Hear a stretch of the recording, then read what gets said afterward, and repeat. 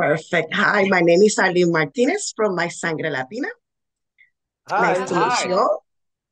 Well, first of all, I gotta tell you, I love the series. I'm a military wife, 25 years wife. My husband just about to retire, so I know a few things about military.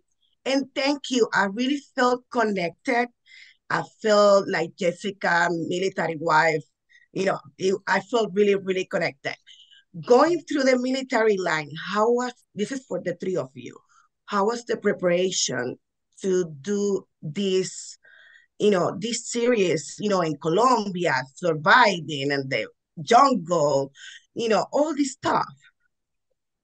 Well, the preparation was was a very exciting part of working on this project. Um, um, for uh, Luke and I, it meant that we had to sort of understand the world of of of these special forces operators, these very highly skilled and highly trained um, uh, soldiers, and so um, we spend a lot of time with uh, with a military advisor who was actually a, a former Navy SEAL himself, um, and that was really exciting for Cool. us, right? Yeah, yeah, really incredible. I mean, I think we we both we both knew it was going to be an intense kind of uh, job roles, but we we were ready for it, weren't we? We we really we arrived in Atlanta and we were put straight into training and um, we had each other's back for 10 months and we we propped each other up in jungles, desert islands, slums, rooftops, in the snow, helicopters, you know, you name it, we did it and we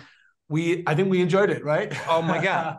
We loved it, but really, when you watch the show, some of the biggest stunts are probably done by this one over here. yeah, exactly. Really. No, Oh, yeah. would- yeah, I would say that um, for preparation, you know, it was important for us to really learn to like each other, so we'd have a natural bond going into a story about this triangle of, of, um, you know, commitment and family, and um, and then of course there's the physical preparation, and there was the psychological preparation as well of knowing that we were going to take this journey in an unknown place and sort of push ourselves with stunts and and um emotion and all of those things so Uh, for Luke, I heard you, you were speaking Spanish. Your speech Mm. is actually really good. Do you have any training? Did you learn? Tell me a little bit about it.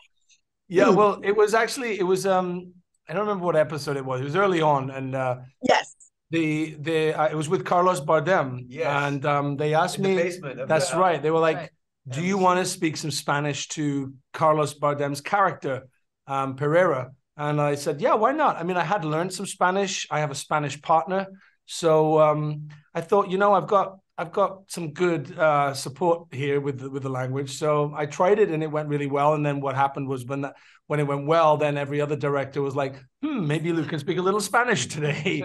so I ended up speaking Spanish more than I thought I would, but Yeah. um, I enjoyed it because I do love the Spanish language, and I think you know, respectfully, Bambi was able to communicate to the Spanish-speaking characters in their language, which just added another interesting dimension to what Bambi's training must have been. Where did he learn that language? How is he able to speak the language? And uh, you know, I just lo- I love that because it just added another storyline to my backstory of the character.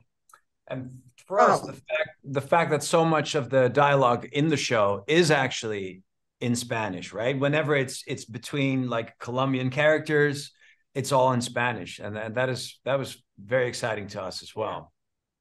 Is that if there was any like any barrier, language barrier trying to work like because there's a lot of scenes that are in Spanish and then you guys are interact and the fights and stuff. If there's any like barriers, like any conflicts that you guys may have, like during the you know ta- uh, taping, filming the scenes. not for me i feel like there is a common language as artists Uh-huh. and everyone spoke that language and so we all knew what we were meant to be doing and the story we were telling i, I didn't feel there was a barrier No. at all No, and if when it, whenever there was a barrier, I would just say "listo el pollo," and that would just fix it. that always works, really. Re- ready The chicken. chickens. yeah ready the chicken No, And we had a for- great. Go on, carry on, carry. Okay, to finish, uh, because I only have like one minute left, how was working in Colombia? If it was your first time, how was like everything is beautiful? What was your, you know, your take on Colombia?